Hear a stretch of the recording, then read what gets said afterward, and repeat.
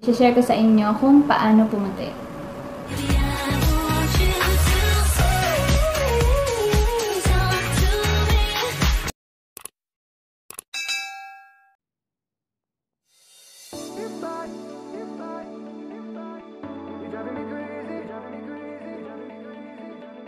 Hi guys! Welcome back again to my YouTube channel. So for today's video ay meron na naman tayong pag-uusapan. And isi-share ko sa inyo kung paano pumuti.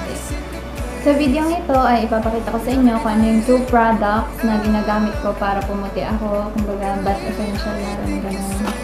Uh, huwag na natin patagalin. Ito yung products na ginagamit ko. Koji Sun Soap Skin Lightening Soap for a lighter and even skin tone. And then itong Johnson's Milk Baby Soap. Maganda rin guys yung Johnson's Milk Bath Soap.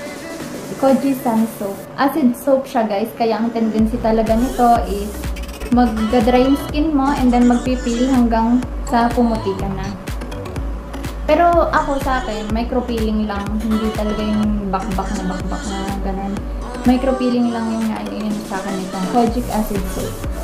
Uh, paano ko siya ginagamit? Uh, babasahin ko ng katawan ko and then iko, ikukuskus ko to. Direct ako siya kinukuskus sa balat ko guys yung sabon. And then after nun, ibababad ko siya for 2 to 3 minutes. And then, kung gusto niyo mag-timer kayo, ako kasi nakanta-kanta lang ako. Tapos yung pag... After ko sa katawan ko, na ibabad ng 2 to 3 minutes, babanlawan ko na siya and then ito naman yung isusunod ko na isabon sa katawan ko and then binababad ko din siya for 2 to 3 minutes. Tapos, saka ko siya, hindi ko na siya kinukuskus guys. Basta ibababad ko lang siya ng 2 to 3 minutes. Tapos, saka babanlawan ko na siya and then ayun. And guys, kung maliligo kayo, mag-shampoo naman kayo ha.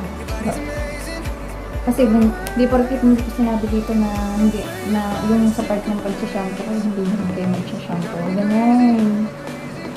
Sarap. Sa face naman, ang ginagawa ko is bago ako naligo, inauna ko kasi yung face ko na i-wash. Mag-ano lang ako, aanin ko yung sabon, tapos pabubulain ko, tapos i-ano ko lang. And then, after nun, i-rinse ko na siya. Saglit ko lang siya inaano sa face ko kasi ah, sobrang nipis ng balat natin sa mukha. Kaya ako, ayoko siyang ibabad talaga ng matagal sa face ko. Kung nag-skin lightening kayo, mas maganda rin kung meron ka rin yung moisturizing soap na ginagamit kasi habang nagla-lighten yung skin nyo, hindi naman pangit kasi hindi naman siya maputi ka nga, dry naman yung skin nyo, di ba? Ano maganda, yung sabi ko nga, sipagan yung mag-lotion. Ako ang ginagawa ko, di ba, after kong maligo, naglo-lotion ako and then bago ako matulog, naglo-lotion din ako kasi gusto ko talagang mag-lighten yung skin. Kasi kung hindi naman kayo, kung magsasabon nga kayo ng kojic tapos hindi naman kayo maglo-lotion, parang parang useless kasi ang dry, nagpumuputi nga kayo tapos dry naman yung skin nyo, di ba? Ayun yun, guys. Kaya kung magpaputi kayo, talagang i-push nyo na ng bonggang-bongga, mag-lotion kayo. Ang suggest ko lang sa inyo, kung kung gumagamit kayo nito, magtayong kayo kung lalabas kayo o kaya mag-long sleeve kayo, ganyan. Mag-wear kayo ng lotion na may SPF, ganyan, o kaya mag-sunscreen kayo para naman meron kayong sun protection. At hindi masayang yung ginagastos nyo dito tapos hindi nyo naman makikita yung resulta tapos sasabihin nyo mangingitin pa kayo. And that's it for today's video. Sana ay nakatulong ako sa inyo sa mga shinare ko ngayong araw na ito. Um, kung nagustuhan nyo, please click like and subscribe na rin para naman subscribe na kayo.